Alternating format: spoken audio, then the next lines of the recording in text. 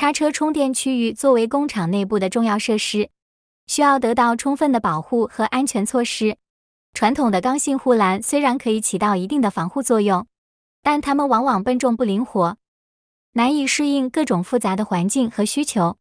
因此，越来越多的工厂开始采用柔性护栏来防护叉车充电区域。柔性护栏相对于传统刚性护栏而言，它们更加轻便灵活，可以轻松地适应各种复杂的环境和地形，有效地防止叉车和其他车辆的意外碰撞。柔性护栏通常采用高分子材料制成，具有很好的抗冲击和耐久性，可以承受叉车的撞击和摩擦，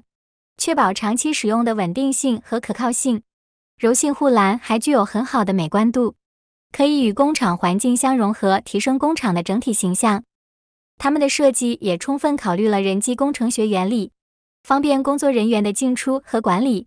不会妨碍正常的生产和作业。